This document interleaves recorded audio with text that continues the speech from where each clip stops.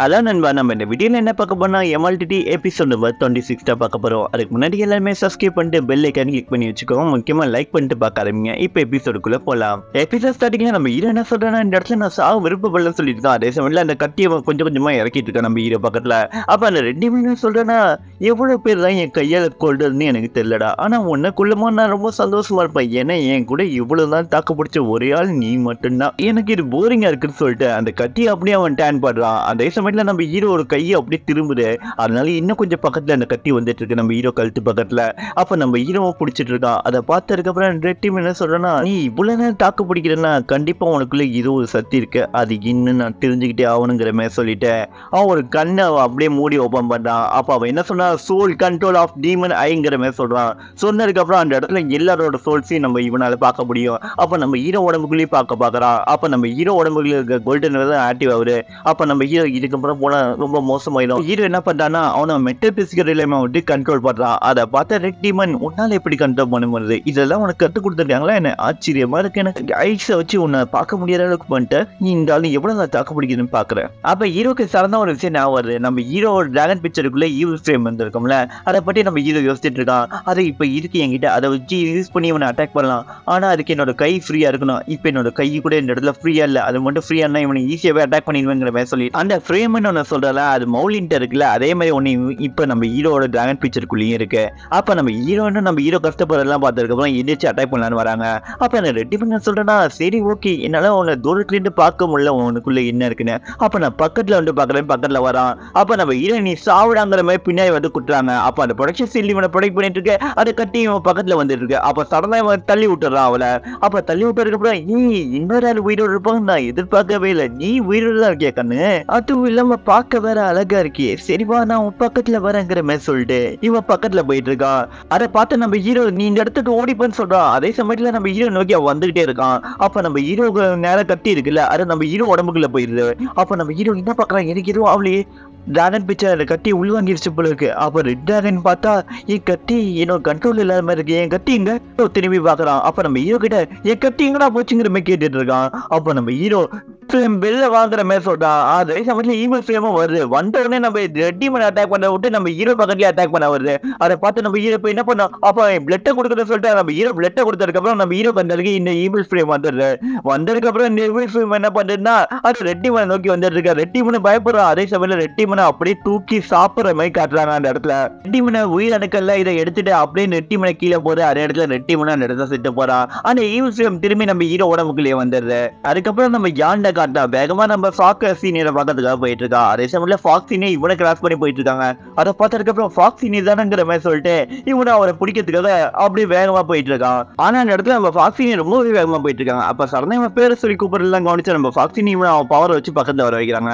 அப்ப நம்ம யான் வந்ததுக்கு அப்புறம் என்ன சொல்றாங்க நீங்க ரொம்ப வேகமா போறீங்க. உங்க வேகத்துக்கு இந்த உலகத்துல யாருமே இடி நீ இல்ல. நான் இவ்வளவு நேரமா உங்க பின்னாடி தான் வந்துட்டு இருந்தேன். அதை கேட்ட ஃபாக்ஸ் சீனியர் என்ன சொல்றாங்களா சரி ரொம்ப பேசாத என்ன நடக்குதுங்கிறத சொல்லு. எப்படி இவர் கேட்டுட்டு இருக்க மாதிரி அடுத்த சீனை காட்டினா நம்ம ஈர வரா காட்டுறாங்க. அந்த இடத்துல நம்ம ஹீரோனும் வந்துட்டு இருக்கா. அப்ப அந்த டீமன் செத்து போயிட்டானா நமங்கிற மாதிரி செக் பண்ணிட்டு இருக்கா நம்ம ஹீரோ அப்ப நம்ம ஹீரோ என்ன சொல்றேன்னா இவனை நான் தான் கொண்டேங்கிறது என்னால நம்ப முடியலங்கிற மாதிரி சொல்லிட்டு இருக்கான். அதை நம்ம ஹீரோன் என்ன பண்ணனா நம்ம ஹீரோ முன்னாடி மண்டி போட்டு என் உயிரை காப்பாத்துறதுக்கு ரொம்ப நன்றிங்கிற மாதிரி சொல்லிட்டு இருக்கா. அதை நம்ம ஹீரோ என்ன ஃபுல்லா பண்ணிட்டு இருக்க. நமக்குள்ள இந்த விஷயங்கள்ல தேவையே கிடையாதுங்கிற மாதிரி நம்ம ஹீரோ சொல்லிட்டு இருக்கான் அப்ப நம்ம ஹீரோ என்ன சொல்றேன்னா இந்த இடத்துல இப்படி நடக்கும் நான் எதிர்பார்க்கவே இல்லை. உன்னை என்னால் ப்ரொடெக்ட் பண்ண முடியல. இத்தனை பெரிய என்னால் காப்பாற்ற முடியலங்கிற மாதிரி அவங்க சுத்தி இருக்கவங்களாம் பார்த்து வருத்தப்பட்டு அந்த இடத்துல அவன் மயக்கம் போடுற மாதிரி காட்டுறாங்க.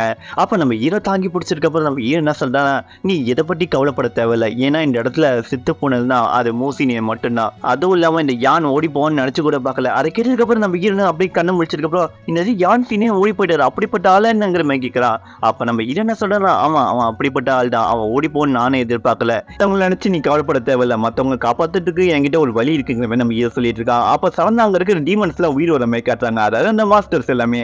ஏன்னா சூழல திரும்பி வந்துச்சு. இல்லை அதுங்கெல்லாம் உயிர் வந்தது. அதை பார்த்ததுக்கப்புறம் நம்ம ஐயோ இப்படி நடக்கும் நான் எதிர்பார்க்கலங்கிற மாதிரி. அந்த சாட்டையை பிடிச்சி அங்கே இருக்கிற டீமன்ஸ் எல்லாம் கட்டு போட்டாங்க ஆல்ரெடி இந்த டீமன்ஸ் தான் கட்டி போட்டு வச்சிருந்தாங்க.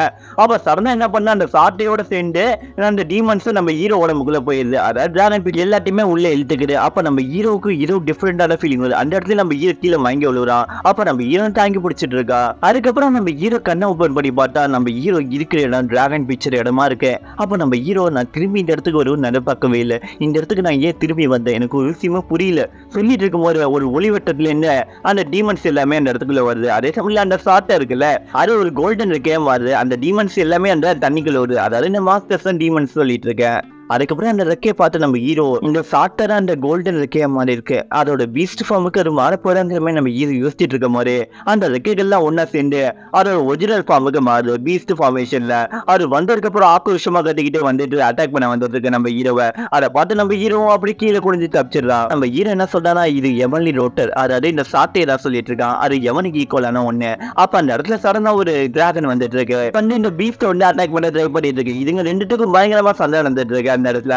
அப்ப நம்ம ஹீரோ சொல்றானா இந்த டிராகன் எங்கிட்டு வந்துட்டு இது எப்படி இந்த இடத்துக்கு வந்துருங்கிற மாதிரி நம்ம ஹீரோ அந்த இடத்துல யோசிச்சுட்டு இருக்கான். அப்ப நம்ம ஹீரோ ஒழிஞ்சிட்டு என்ன நடக்குங்கிற மாதிரி பார்த்துட்டு இருக்கான் அப்ப நம்ம ஹீரோ என்ன சொல்றா இதுங்க ரெண்டுத்துக்குள்ள இப்படியே சண்டை நடக்கணும் அதுவும் இல்லாம இந்த டிராகன் எப்படி வந்துட்டு எனக்கு சுத்தமா இந்த இடத்துல என்ன நடக்குன்னே புள்ள இந்த டிராகன் ரொம்ப பவர்ஃபுல்லா மாதிரி தெரியுங்கிற மாதிரி சொல்லிட்டு இருக்கான். அப்ப இந்த டிராகனுக்கும் அந்த ஸ்பிரிச்சுவல் பீஸ்டுக்கும் பயங்கரமா சண்டை நடக்குது. அதுல நம்ம டிராகன் தான் ஜெயிக்கிற அதே சமயத்துல இந்த டிராகன் என்ன பண்ணுன்னா அது அப்படியே வாயால முடியுது அதை எல்லாத்தையுமே நம்ம ஹீரோ பார்த்துட்டு இருக்கான். இப்படி இந்த விஷயம் நடந்துட்டு இருக்க மாதிரி வெளியே என்னடா நடக்குதுன்னு காட்டாங்க நம்ம பாக்ஸி நேற்று நம்ம யானை வந்து என்ன சொல்லிட்டு இருக்கானா நாங்க அந்த ரெட்டிமன் கூட பயங்கரமா சண்டை போட்டோம். அந்த இடத்துல சடனா நம்ம ஸ்வாட் ஃபார்மேஷன் பிரேக் ஆயிடுச்சு. அதாவது மூசினை கிரியேட் பண்ணது. அதுக்கு எல்லாத்துக்குமே காரணம் நம்ம ஹீரோ தான். அவன் மட்டும் அந்த ஸ்வாட திருப்பி தந்துட்டானா இவ்வளவு பிரச்சனை வந்திருக்காது. அந்த ஸ்வாட் ஃபார்மேஷனும் பிரேக் ஆயிருக்காது. அங்க இருக்கிற ஒரு டிசபிளோட ஸ்வாட் பிரேக் ஆகி இது எல்லாமே நடந்துருச்சு. அவங்களுக்கு என்ன ஆச்சுன்னா எல்லாருமே மயக்க நிலைமையில இருக்காங்க. ஏன்னா அந்த ரெட்டிமன் என்ன பண்ணிருக்கானா ஒரு பாய்சனமே கிரியேட் பண்ணி எல்லாருமே கொடுத்துருக்கா. அதனால எல்லாருமே ரொம்ப கஷ்டப்பட்டுட்டு இருக்காங்க. நான் மட்டும் அந்த இடத்துல எப்படி வச்சேன்னா நீங்க கொடுத்த சூட்ல எனக்கு ப்ரொடக்ஷன் சீல்டு இருந்தது. அதுதான் என்னை காப்பாட்டுனுச்சு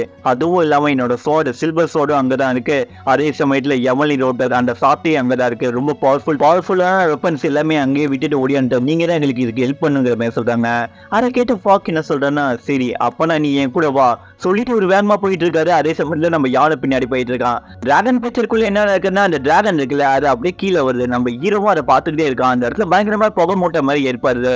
அதுல நம்ம ஹீரோ கொஞ்சம் தள்ளி போய் விழுறான். அப்ப நம்ம ஹீரோ அந்த புகையெல்லாம் தள்ளி விட்டு நம்ம ஹீரோ பார்க்கும்போது அந்த இடத்துல ஒருத்தர் படுத்து கிடக்குற மாதிரி இருக்கு. அப்ப நம்ம ஹீரோ என்ன சொல்றேன்னா இந்த இடத்துல டிராகன் தானே இருந்தது. இந்த இடத்துல எப்படி ஒரு ஹியூமன் இருக்க முடியுங்கிற மாதிரி சொல்லிட்டு அந்த படுத்து கிடக்குறல அவனையும் நம்ம ஹீரோ பார்த்துட்டு இருக்கான். சரி இவனுக்கு என்னாச்சு? நம்ம பார்க்கலாம். இவனும் ஒரு ஹியூமனா இருந்தா நம்ம இவனை காப்பாத்தி அவனும் இந்த இடத்துக்கு எப்படி வந்தான்னு தெரியலங்கிற மாதிரி சொல்லிட்டு நம்ம ஹீரோவும் பக்கத்துல போய் அவனை எழுப்பிட ட்ரை பண்ணிட்டு இருக்கான் அப்ப நம்ம ஹீரோ இவனை பார்த்து இவன் ஹியூமன் மாதிரியே எனக்கு தோணல. ஏன் இப்படி சொல்றேன்னா இவன் மண்டல கொம்பலா இருக்கு. இந்த இடம் ரொம்ப ஸ்டேஞ்சாவே இருக்குப்பா இந்த இடத்துலங்கிற மாதிரி சொல்லிட்டு அவன் கொம்பெல்லாம் ஆட்டி பார்த்துட்டு இருக்கான் நம்ம ஹீரோ சொல்றேன்னா அப்ப இவனுக்கு கொம்பு இருக்கு. அதே சமயத்துல அவன் பார்க்க டிஃப்ரெண்டா இருக்கா. அப்ப இவன் டிராகன் சொல்லிட்டு நம்ம ஹீரோ பின்னாடி போறான் அதே சமயத்துல வெளில என்ன நடக்குதுன்னா நம்ம ஹீரோன் பிடிச்சி நம்ம ஹீரோ ஹெல்ப் ட்ரை பண்ணிருக்காங்க அந்த இடத்துல நம்ம ஹீரோ எந்திரிக்கவே இல்லை. ஏன்னா அந்த வேர்ல்டுக்குள்ள இருக்கல நம்ம ஹீரோ என்ன நினைக்கிறேன்னா இவனுக்கு என்ன ஆச்சு? எனக்கு சத்தியமா ஒன்றுமே புரியல இங்க இருக்க டீமன்ஸ் எல்லாமே இவன் உடம்புக்குள்ள போச்சு. அதுவும் இல்லாம எவல்டி ரோட்டரையும் உடம்புக்குள்ளே போனுச்சு அப்படின்னா இவன் உயிரோடு தானே இருக்கா? இவனுக்கு டேஞ்சர்லாம் இல்லைன்னா என்ன யாருமே அதை கண்ட்ரோல் பண்ண முடியாது. நீ சாக மாட்டல உயிரோடு தான் இருக்க.